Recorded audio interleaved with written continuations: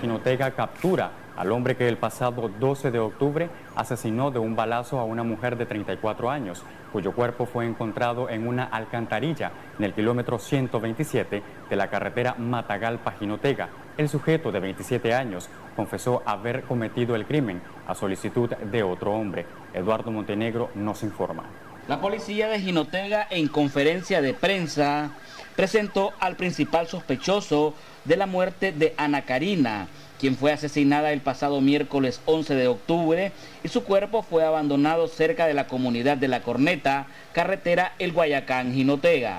Encontramos como principal sospechoso al sujeto Larry Antonio Alaní Suazo, de 26 años, la invitó a ir al restaurante El Encanto, ubicado en Las Lomas, quien al dirigirse hacia dicho lugar, al, al pasar por el sector del llano La Cruz, Larry, dentro del vehículo, le dispara a la víctima en el occipital lado izquierdo, ocasionándole la muerte utilizando un arma de juego tipo revólver calibre 38, marca Pucara, serie 1988-84.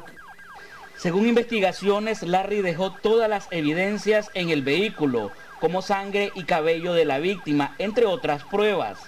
Este acepta los hechos y afirma que fue presionado para cometer este asesinato. A mí me, amenazaban con mi familia, que me iban a matar uno por uno. Y después, cuando yo me negaba, hasta me ofrecieron reales para que lo hiciera. ¿Quién te amenazaba así? De un Herrera.